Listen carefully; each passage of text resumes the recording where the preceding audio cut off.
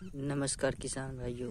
देखिए, ये आप लोग देख रहे हैं इफको नैनो यूरिया। ये बहुत अच्छा काम करता है खेतों में। इसकी फ़ायदा बहुत बताते हैं आप लोग को।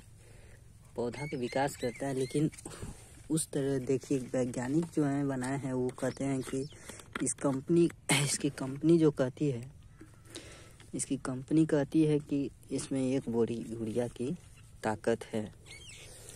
लेकिन जब इसका स्प्रे किया जाता है तो उतना काम नहीं करता है जितना यूरिया करता है। देखिए हम कितना डाल रहे हैं।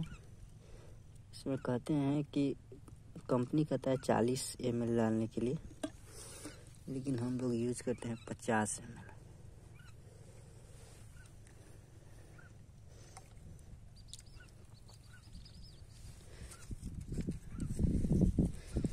ये देखिए पच्चीस एम का है।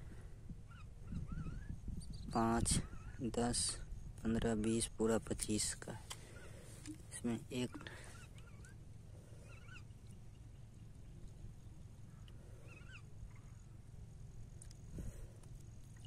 क्यों नहीं काम कर पाता है उतना?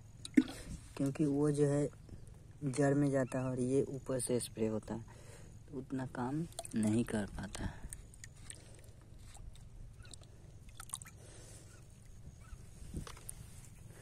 Nano urea. इसकी पावर उतनी नहीं है जितना कि दाने वाले में है। उससे कम है।